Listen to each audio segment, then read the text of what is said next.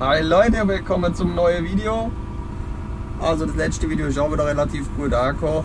Vielen Dank dafür. So, dann machen wir nicht lang rum. Ich gehe gleich mal auf eure Fragen ein. Es waren ja nicht so viel. Auch gut. Ja, die erste war das mit den Hebeln. Warum zwei Hebel, warum nicht ein Hebel? Ganz einfach. Ich mal die Hydrauliksperre da hier. Ich bin ein wenig verschnupft, also nicht wundern. Also mit dem hier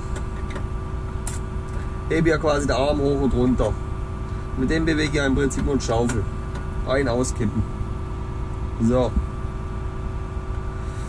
Und so im Prinzip kann ich die ganze Zeit so schön heben. Zack, zack, da kann man schön ja, so ein bisschen so hier so ein bisschen spielen. Ne? Alles kein Hexewerk. Die Maschine ist jetzt gerade ein bisschen lauter, weil ihr seht hier, die noch, der ist gerade am Ausbrennen. Nur falls sich einer gerade wundert, warum der so laut ist, wenn man so dreht. Jedenfalls, wenn ich jetzt in die Wand reinfahre, jetzt Schaufel füll, äh, füll, dann bin ich ja quasi hier die ganze Zeit so. Bei dem Hebel bin ich so. Ne? Also da muss ich im Prinzip hier immer so ein bisschen so. Äh, äh, äh, und hier mache ich halt schön so diesen hier. Ne? Also ja, es ist jetzt ein bisschen blöd zum Zeigen. Also ja. Da kannst du halt schön spielen, da kannst du schön mit Doppelschlimm immer so. Äh, äh, ist alles ein bisschen so wackelig. Und hier ist es halt schön. Zack, zack, so. Wenn jetzt die ganze Chose runterkommt, dann mache ich halt einfach hier zack. Ne? Das ist Peng. Und dann, ist das, dann geht der vorne gnadenlos runter. Und dass es mir hier gleich ja mit mir Katapult macht. Das ist der Hauptgrund, warum ich die zwei Hebel, lieber mit zwei Hebeln fahre. Ne? Vielleicht war es jetzt ein bisschen verständlicher. Ich hoffe es doch. Ja. Ist einfach viel angenehmer so. Ne? So Rumspiele hier. Ja.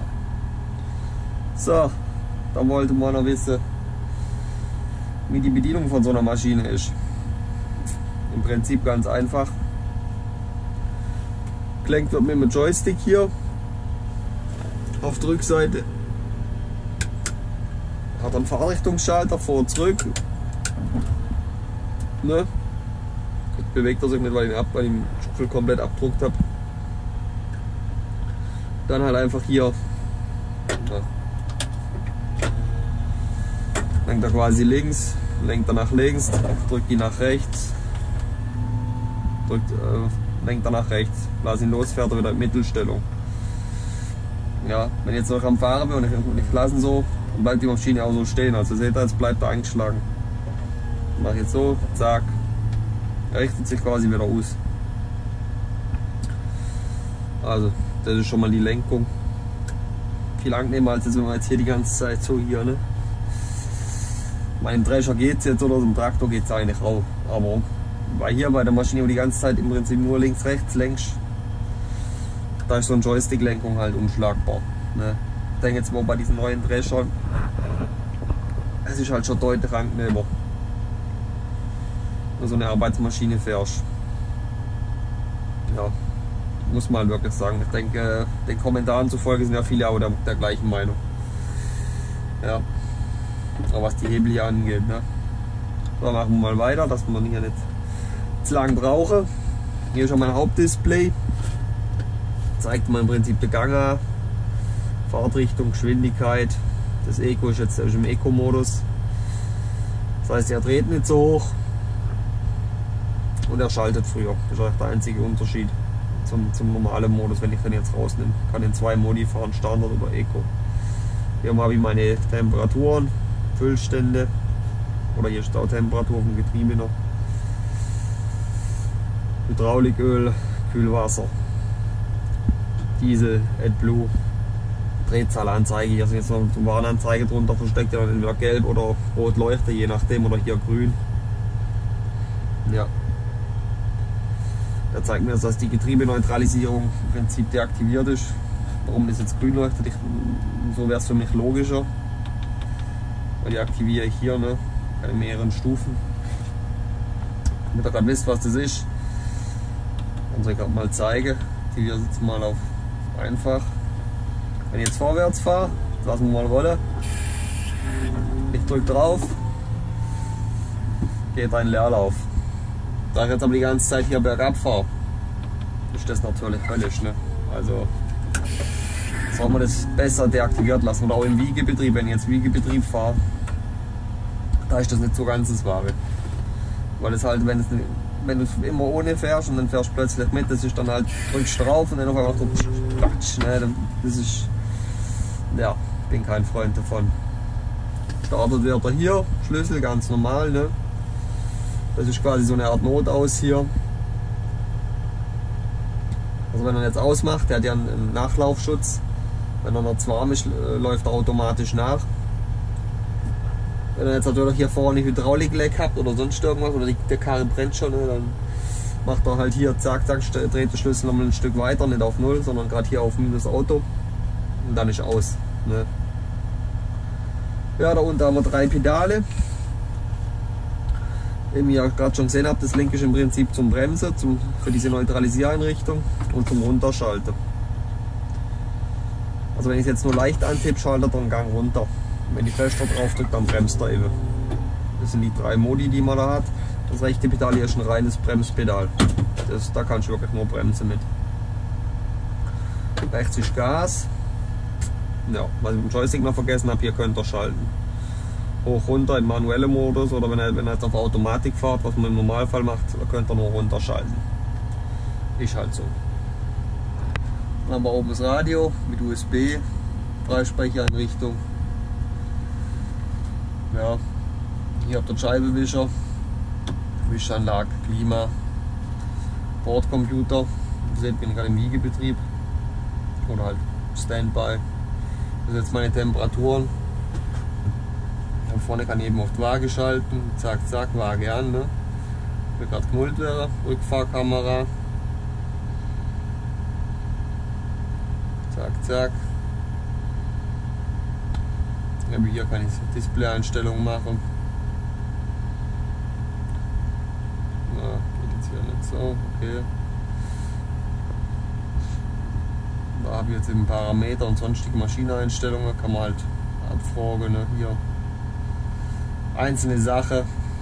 Was haben wir jetzt hier drin? Ja, zeigt doch halt alles an, ne? was gerade aktiviert ist, was nicht aktiviert ist. Ja, seht jetzt halt hier, aktueller Verbrauch dreht halt gesagt, Temperaturen.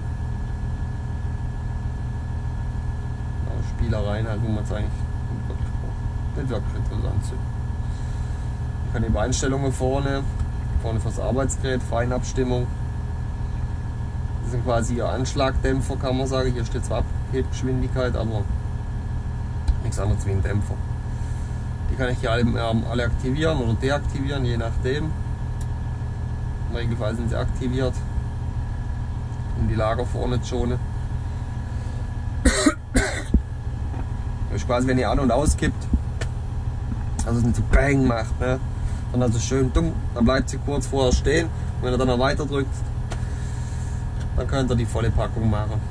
Schwingungsdämpfung. Hier kann man jetzt einstellen, ab welcher Geschwindigkeit sie aktiviert ist. Oder sich einschaltet, vorwärts, rückwärts. Ne? Kein, ich habe mich auch gewundert, warum der immer so, so lang braucht beim Rückwärtsfahren. Aber die könnte sogar noch wieder abnehmen. Im Rückwärtsfahren ist der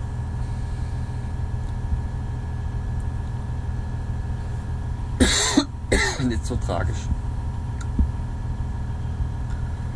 Im Vorwärtsfahren kann es ein hinderlich sein. Betriebe, Gangeinstellungen, wenn ich den Gang begrenze. Oder wenn ich jetzt immer vorwärts, rückwärts wechsle. Wie er wechseln soll. Die einzelnen Gänge. Nutzlast. Kann eben den Wiegebereich einstellen. Das Abgibwiege, was ich bei den 66 gezeigt habe. Hier kann ich es eben umstellen, ist alles weg moderner jetzt hier. Ob ich jetzt im Haltemodus oder im LKW-Modus fahre. Automatisch, manuell. Halt Automatik, weil schon mal faster. Nutzlastanzeige. kann man den, der, der Wiegemodus in zwei Bildschirmvarianten anzeigen. Das ist jetzt der normale. Der vereinfachte zeigt euch gerade. Der ist jetzt normal. Und beim vereinfachten ist dann halt einfach nur noch hier oben die Hauptanzeige ne? Und, den, und den mittleren. Und, dann hast du, und das untere Gedöns hier hast du dann nicht drin. Das ist. oh Mann. Lichtenverwaltung. Habe ich mit LKWs drin gespeichert. Das Gewicht, was sie haben dürfen. Oder das Material. Könnt ihr jetzt für den Nutzlastspeicher eingeben. Wenn ihr jetzt wissen wollt, wie viel Wandkiesel die am Tag, wie viel Rollkiesel die am Tag, dann könnt ihr das eben der noch eingeben. Spielerei. Auch bei uns jetzt eigentlich nicht. Ne? Mal was vergessen. Na, da, kann der Eco-Modus noch einschalten oder aus. Sekundärlenkung, das ist im Prinzip nur für Notfälle. Was haben wir hier? Lebensdauer, ist eben so, wie sagt man, ah, Tabelle. Zeigt, da könnt ihr halt anzeigen lassen, Betriebsstundezähler, so zu uns gibt uns, was ihr alles gemacht habt. Insgesamt Gesamtnutzlast 522.000 Tonnen schon. Insgesamt, also das was nur über den Walk gegangen ist, wohlgemerkt. Materialkennung. Da seht ihr jetzt eben, was ich geladen habe. Wenn ich es gespeichert habe. Das ist schon eine ganz schöne Menge, ne?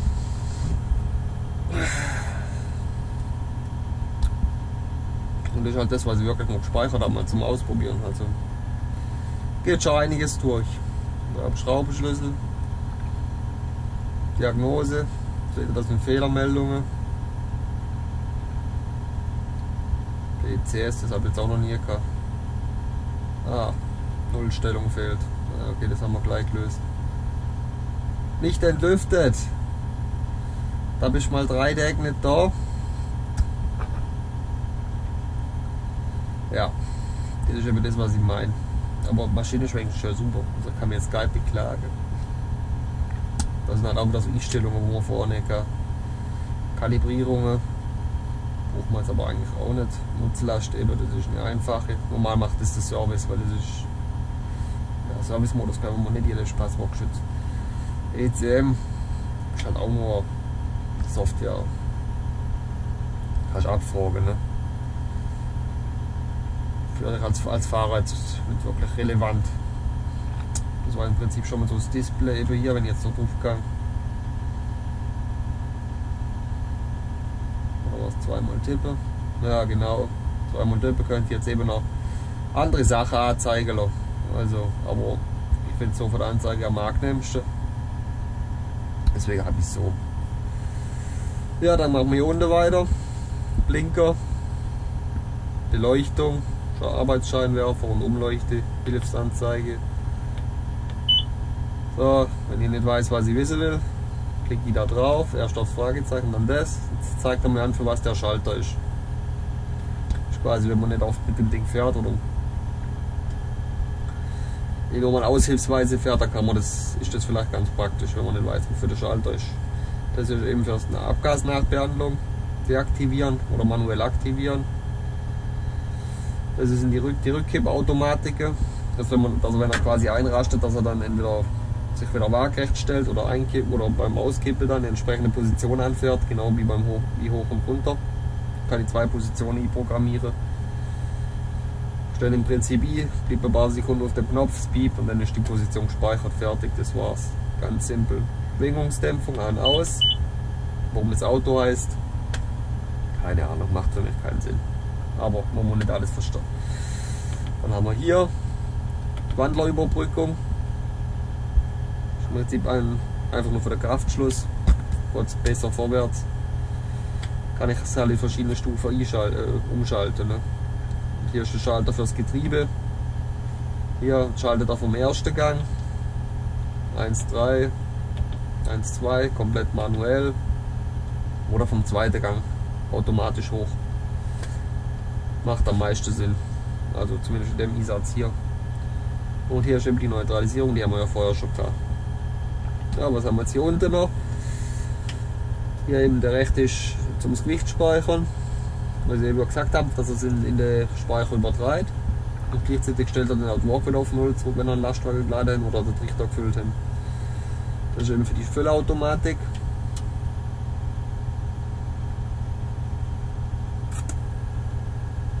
Hat er die jetzt gar nicht drin? Doch, die müsste er doch drin haben.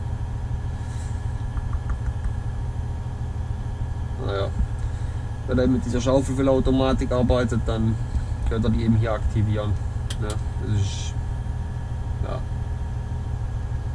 Wer es braucht. Ich nicht. Ja, und dann haben wir hier noch Kickdown für den ersten Gang.